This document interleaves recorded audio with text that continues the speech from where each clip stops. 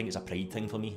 Um, being a guy, it's quite hard to pick up the phone and say you're struggling, and I think that's what set it off for me was I wasn't phoning people, and I wasn't expressing how I feel, um, which is something that's really really big in recovery. Is you need to be able to, especially guys, because girls phone each other.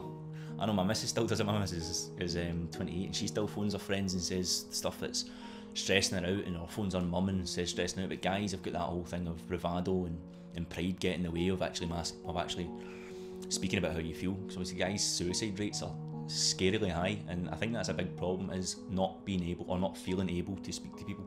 And I think that's where it took me back in, back to using was the fact that I just bottled all this stuff up inside, and the only thing that I could speak to to calm that was using. Um, a, a couple of times I've actually um, felt quite suicidal, um, and no matter what's going on in my life around at the time, it clouds the addiction, the worry, and the feeling of um, utter uselessness. Really, is uh, it clouds your judgment as to actually the things the things that are going right in your life. You can have twenty things going right in your life, but that one thing that's kind of one that's sticking in your head, and it's not speaking. It gets gets me into the situation where I feel suicidal.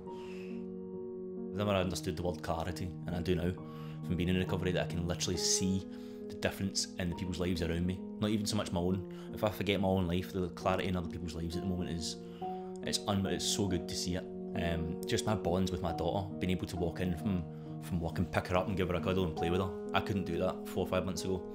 Um, and now my relationship with my parents, um, my fiance, my the, the people I've got in my life in recovery, it's it's unbelievable, and I haven't ever experienced this this love that I've been given or been shown since I came into recovery.